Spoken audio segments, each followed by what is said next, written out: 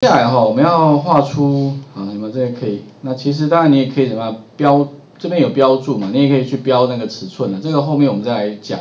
那如果说我今天呢，希望画出来，就类似像这样子，外面这个圆是有画出来的，可是里面这边还有很多的弧，对不对？那实际上弧哈，这个弧部分呢，其实也是什么呢？也是那个圆的一半，所以是半圆。看这个这个，突然给我一 OK 啊。实际上这边 里面的话哈，也是一个圆呐，只是一个半圆。那这边总共几等份呢？六等份嘛，对不对？所以你其实哦，那个距离应该是多少？七十除以六嘛，对不对？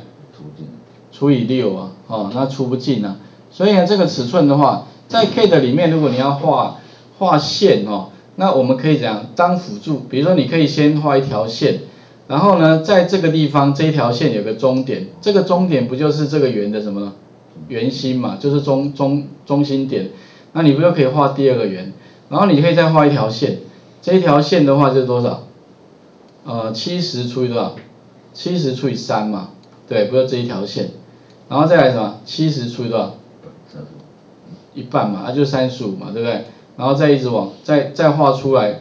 好，那这样的话呢，我们假设我要把其他圆，就可以利用这样的方式把它画出来，哈，然后再做辅助圆。那我们怎么画呢？其实接下来哈，就是在这边我画线，那画线我点一下线嘛，反正画什么都可以，上面都有嘛，画线对不对？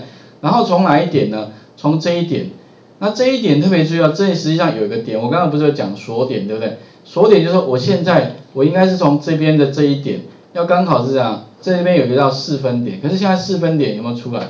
没有出来，你会乱点。你乱点也可以，有人就是没有点，然后就乱点。那乱点看起来看不出来，可是你。